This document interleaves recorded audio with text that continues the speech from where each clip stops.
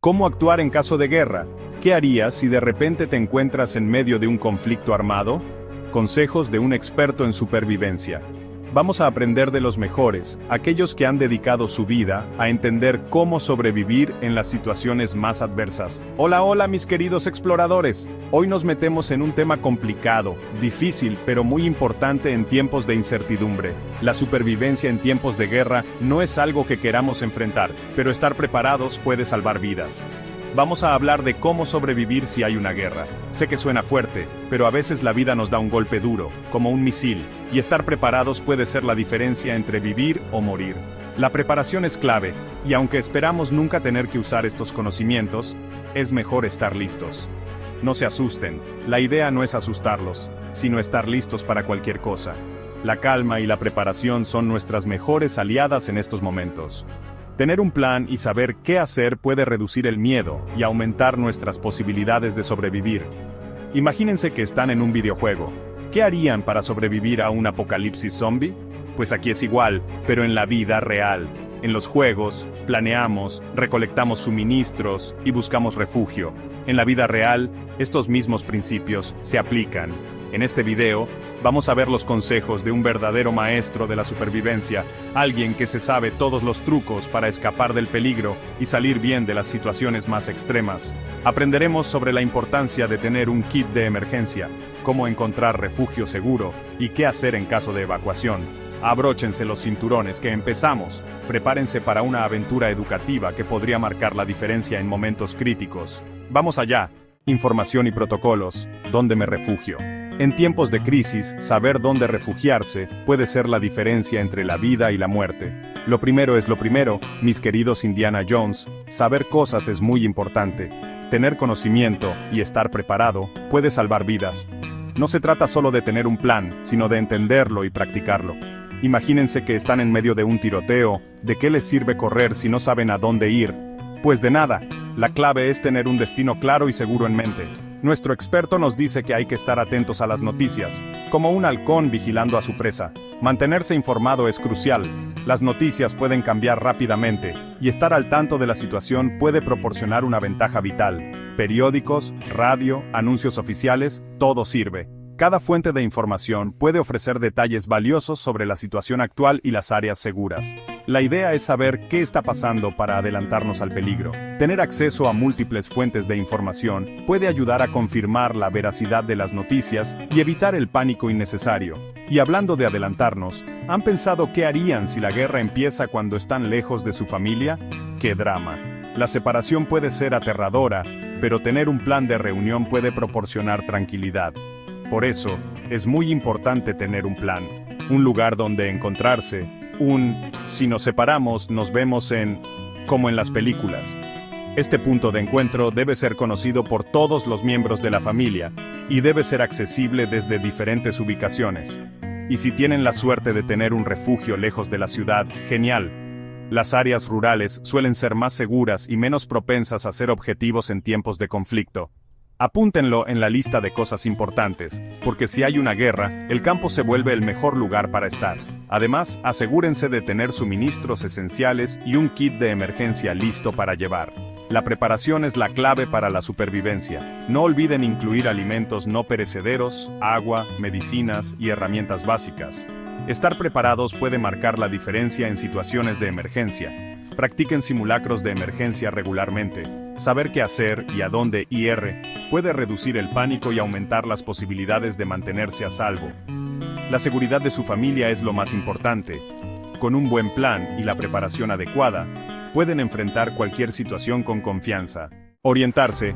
Haz acopio de mapas físicos. Amigos, olvídense del Google Maps, del GPS y de todas esas cosas tan modernas. En una guerra, la tecnología no sirve para nada. Lo que sí necesitamos, y urgente, son mapas de papel, de esos que se abren y ocupan toda la mesa. ¿Por qué? Porque nos muestran las rutas de escape, los caminos alternativos, los lugares importantes. Son como una brújula que nos guía hacia la libertad. Y ya que estamos a la antigua, saquemos los walkie-talkies, esos aparatos que usábamos de niños para jugar a los espías. En un mundo sin internet ni cobertura, serán nuestra única forma de hablar con los demás. suministros básicos, pilas, efectivo botiquín y medicamentos para enfermedades crónicas. Imaginen que están en un supermercado y de repente dicen que se acaba el mundo. ¿Qué cogen primero? Exacto, lo más importante. En nuestra mochila de supervivencia no pueden faltar pilas, para la radio, la linterna, dinero en efectivo, las tarjetas de crédito no sirven para nada, un botiquín, nunca se sabe cuándo te puedes hacer una herida, y, atención, medicinas para las enfermedades que duran mucho tiempo.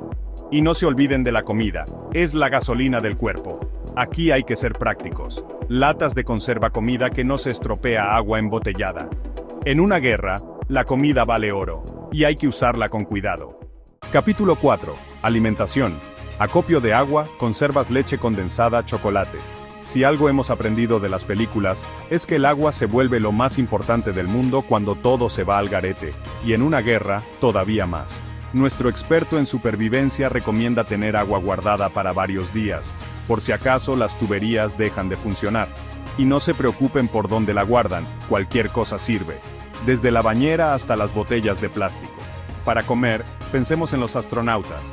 Comida que ocupe poco espacio, que alimente bien y que dure mucho tiempo. Latas de conserva leche en polvo chocolate. Y si conocen a alguien que sepa hacer conservas caseras, que se vengan a vivir con ustedes, en tiempos de crisis, los supermercados se vacían rápidamente. Es crucial estar preparados con suficiente comida y agua. Organizar y etiquetar nuestras provisiones nos ayudará a saber exactamente lo que tenemos y lo que necesitamos. Involucrar a toda la familia en la preparación puede ser una actividad educativa y divertida. Además, es importante tener métodos para purificar el agua, como tabletas de purificación, filtros o simplemente hervirla, y no olvidemos la importancia de la comunidad. Compartir recursos y ayudarnos unos a otros puede marcar la diferencia. Al final del día, estar preparados no solo nos da seguridad, sino también tranquilidad y un sentido de comunidad. Capítulo 5. Márchate si estás cerca de un aeropuerto cuartel o zona militar. Amigos, en una guerra, los militares tienen sus propias reglas. Los lugares importantes son los primeros en ser bombardeados. ¿Y cuáles son esos lugares importantes? Pues los aeropuertos, los cuarteles, las bases militares, sitios que hay que evitar a toda costa. Si tienen la mala suerte de vivir cerca de uno de estos lugares peligrosos, lo mejor es hacer las maletas y buscar un refugio más seguro. Ya sé que da pena dejar la casa, pero es mejor prevenir que curar, ¿verdad? Capítulo 6 priorizar irse al campo. Si la ciudad se convierte en un campo de batalla, el campo se convierte en nuestro refugio. Y es que, como dice nuestro experto, ¿para qué va a bombardear un avión un campo de maíz? No tiene sentido. Así que ya saben, si pueden refugiarse en una casa de campo, háganlo sin dudarlo. Además de estar más seguros, podrán cultivar sus propios alimentos y no depender tanto de los demás. Volveremos a la naturaleza, como nuestros antepasados. Capítulo 7. Proteger las ventanas con cinta adhesiva. Puede parecer una tontería, pero proteger las ventanas con cinta adhesiva puede evitarnos un buen susto. Y es que, cuando una bomba explota, los cristales se convierten en proyectiles muy peligrosos. Con un poco de cinta adhesiva, haremos una especie de red que evitará que los cristales salgan volando por toda la habitación. Y ya de paso, aprovechamos para cubrir las ventanas con cartones o mantas, Así apagamos las luces y pasamos desapercibidos. En la guerra, lo mejor es no llamar la atención. Capítulo 8. Evitar desplazamientos innecesarios. Las carreteras estarán colapsadas. Imaginen un atasco a la hora punta, pero multiplicado por mil. Eso es lo que se van a encontrar en las carreteras si hay una guerra. Lo mejor es evitar los viajes innecesarios y quedarse en casa, a menos que sea cuestión de vida o muerte. Y si tienen que salir, ámense de paciencia, porque el caos y la desesperación se apoderarán de las calles. Capítulo 9. Cómo utilizar el baño, las heces en un cubo y no mezclar con orín. Sé que no es el tema más agradable del mundo, pero en una situación de supervivencia, hay que hablar de todo. Y sí, también del baño. Si el sistema de alcantarillado deja de funcionar, tendremos que improvisar. Lo más práctico es usar un cubo con una bolsa de basura para hacer nuestras necesidades. Y ojo, un consejo de experto, las cacas, en una bolsa aparte. No queremos que nuestro refugio huela fatal. Conclusión.